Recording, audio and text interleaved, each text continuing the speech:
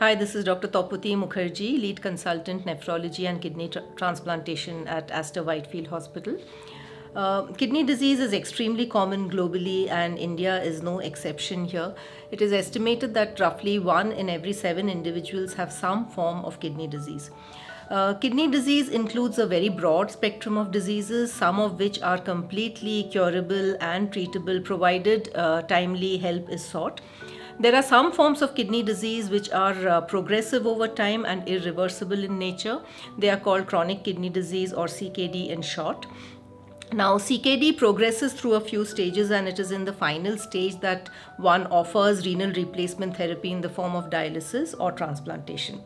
There is a lot of myth about uh, dialysis and transplant, in that dialysis is a death sentence or transplant is a threat to life. But it is very important for us to get over these myths because, on the contrary, dialysis can be a life saving uh, procedure, Di- and transplant is also a life saving procedure. These are actually a boon to patients with uh, any form of chronic kidney disease.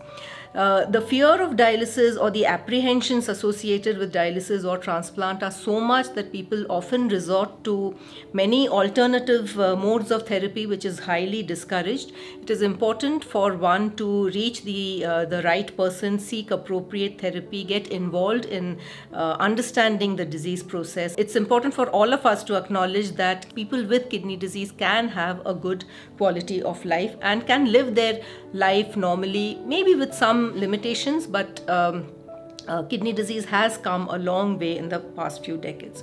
At uh, Aster Whitefield, we do have uh, uh, uh, an infrastructure good enough to support all kinds of kidney disease. We do procedures, biopsies.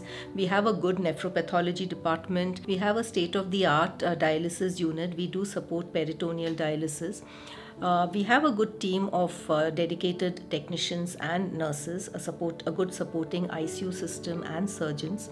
We are equipped with a nuclear medicine department to aid us in our diagnostic uh, procedures. Do visit us at Aster Whitefield Hospital, Department of Nephrology, uh, for any help that you need. Thank you.